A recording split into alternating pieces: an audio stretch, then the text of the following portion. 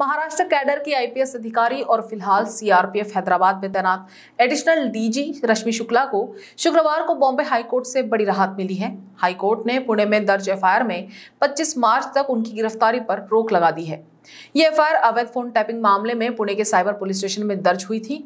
उन पर कांग्रेस नेता नाना पटोले के फ़ोन टैप करने का आरोप लगाया गया है।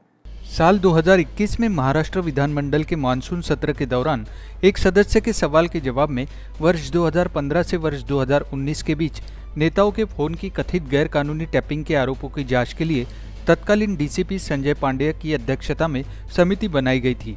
इससे पहले फ़ोन टैपिंग मामले से जुड़ी एक एफआईआर पिछले साल बीकेसी में भी दर्ज हुई थी।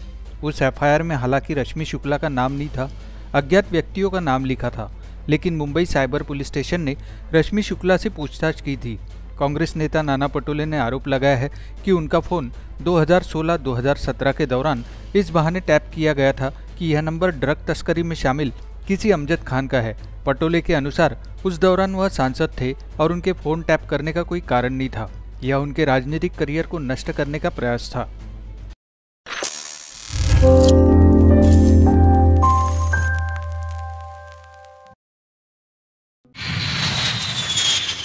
सपनों की उड़ान भरने की इच्छा तो हर किसी की होती है।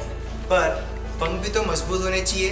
जो देता है flywheel aviation academy flywheel aviation academy एक ऐसा इंस्टीट्यूट है जहाँ पर एयरलाइंस एंड एयरपोर्ट हॉस्पिटैलिटी और टूरिज़्म मैनेजमेंट साथ ही यहाँ campus interview guidance by industry expert practical training at airport expert faculty personal grooming जैसे कई सारे बेनिफिट आप पा सकते हैं। Flywheel aviation academy one degree three job opportunities flywheel aviation academy gives you a degree और diploma with a job flywheel aviation academy 365 Gandhinagar LAD college square beside Bank Nagpur.